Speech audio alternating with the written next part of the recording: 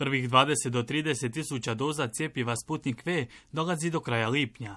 Zbog prevelike potražnje proizvođač nije dao jamstva kada se može očekivati ostatak poručenih cijepiva, tvrdi premijer Porto. Svaka isporuka plaćat će se avansno.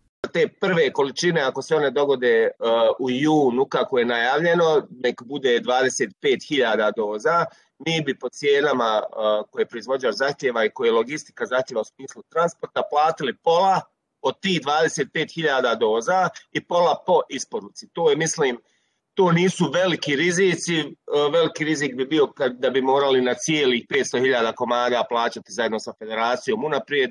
Proces nabavke cjepiva sa sobom nosi određene rizike, tvrdi premijer Forto. Kao neki od njih istakao je da u slučaju pravnog spora neće biti nadležan sud u Bosni i Hercegovini, kao i to da druga strana ima pravo prolongirati isporuku cjepiva. Svjesni rizika su i zastupnici koji ističu da je zdravlje građana prioritet.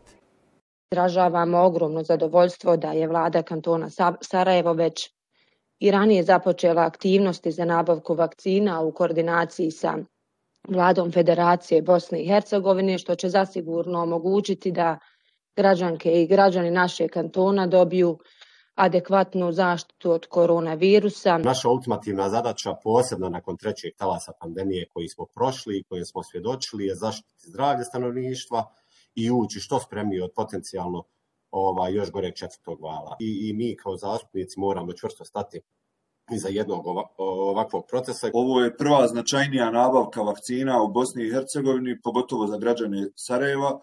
I ono što mi je posebno drago, što saradnja između vlade kantona i vlade federacije pokazuje da, da se ipak može sarađivati, a možda je to ključna poruka u političkom životu Sarajeva. Zastupnica DF-a Bibija Kerla traži od federalne vlasti da ovakav sporazum potpiše i sa drugim kantonima.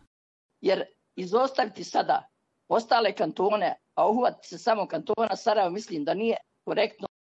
Isporuka ovog cjepiva planirana je sukcesivno. Sporazum sa federalnom vladom nalaže da od svake isporuke 60% doza cjepiva ide federaciji, a 40% kantonu Sarajevo.